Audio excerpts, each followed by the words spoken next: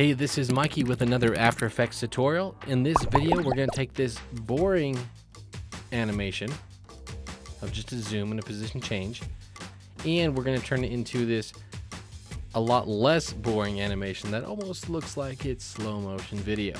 It's really simple to do, and let's get started. I've got this uh, turtle layer here. It's just a sea turtle going into the ocean. Um, let's. What we're going to use is a gradient ramp and a displacement map. So let's grab a new solid layer. Doesn't matter the color, but it needs to be comp size. And then to this, I want to add under layer styles, gradient overlay. And I'm using the gradient overlay because it has a little bit more controls. I can control the angle and I can edit this gradient. And what I want is I, I want it to be a little bit harder of a, a line up top, but I still want it to be a nice soft gradient. So I'm just going to kind of bring this midpoint up about like that. And let's also change the angle just a tiny bit. So let's take that gradient overlay, pre-compose it. Since it's a layer style, in order to be able to use this, I need to pre-compose it. So gradient comp works. So, and then also on this turtle picture, I need to duplicate that, and you'll know why in a minute here. And I'm going to pre-compose the bottom layer. So Command-Shift-C. Okay. So let's go ahead and hide that upper layer. And on that turtle layer, let's add to this an effect under the Distort menu called Displacement Map. And let's switch to the gradient comp for the displacement map. So if I just change the vertical displacement, you can see looking pretty good. And if I don't like the way the gradient works, you can see right there it's starting to do funny things when I go really high. Well, I can go back into this gradient ramp, this comp, and maybe I want that to be a little bit softer of a transition so I can bring that down. And maybe that black I want to be not so dark Something like that. Let's see how that affects it. Okay. That's working pretty good. So now what we need to do is let's take this top turtle layer and I'm going to just do a quick mask around the turtle using the pen tool. And I'm not being super uh, careful. You can be, of course, as careful and as detailed as you want. Uh, but I find if I just get uh, rough and then just kind of slightly feather it, it actually does a pretty good job. Okay, and then I hit F on the keyboard. It brings up the feather controls of the mask, and let's say like 10. Okay. Now what we can do is when we when we move this, it's not going to move the turtle. So I want to start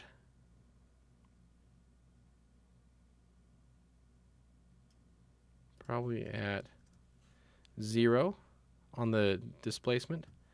Then we go forward and we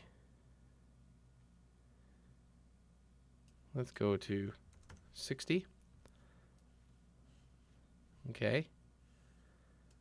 Now, let's keyframe the position of the turtle. Go forward, and then let's just move the turtle up. I'm just hitting the up arrow on my keyboard. And to make sure it's kind of perfect, let's look where that shadow is.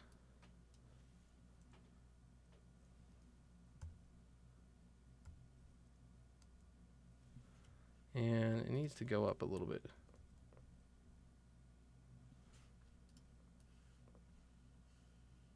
Okay, so now the turtle isn't deforming as it moves. And you got a little bit of a parallax kind of going on. And then the, the last thing we need to do is let's go ahead and parent the turtle, um, the one I cut out to the turtle layer. And I'm going to keyframe the scale and position.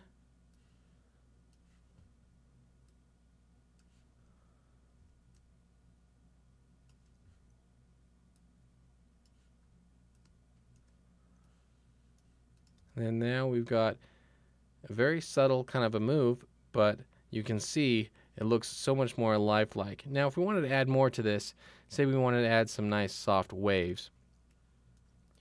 Well, now that we have this, the background in its own composition, let's go into that composition, duplicate that top layer, and I am going to then mask out one of these lines of waves.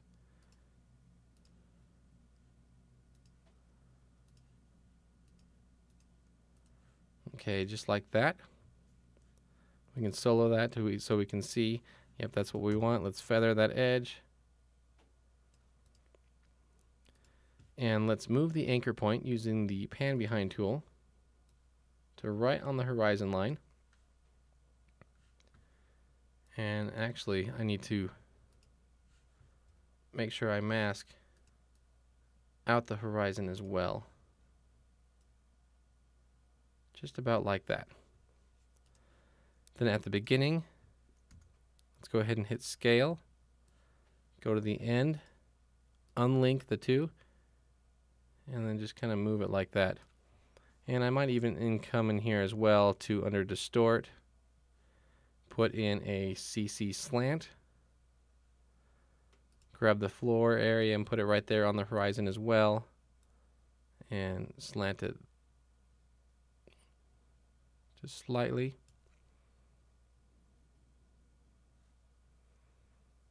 And let's scale it out a little bit.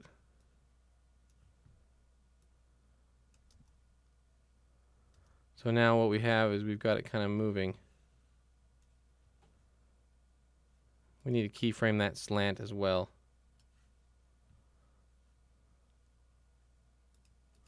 So we at the end it's negative 20 and at the beginning we have it at zero. So it looks like it's kind of moving across that way. And then when we go back into our comp,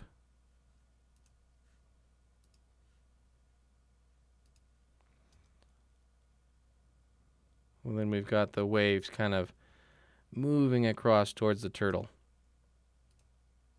So very subtle movements and it adds so much more to this than your basic scale and move position.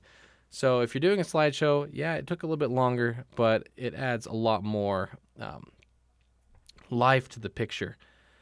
The key thing to this again is using the gradient ramp and the displacement map to create kind of that the movement in the background. Um, adding the moving waves also helps as well, and then separating out this turtle so that you can see that it's not being deformed by the gradient ramp and the displacement map. So I hope you enjoyed this quick tutorial. If you have any questions, feel free to comment. And if you haven't done so already, make sure you subscribe to the channel. We do lots of great tutorials every week. Thank you so much, and we'll see you next time.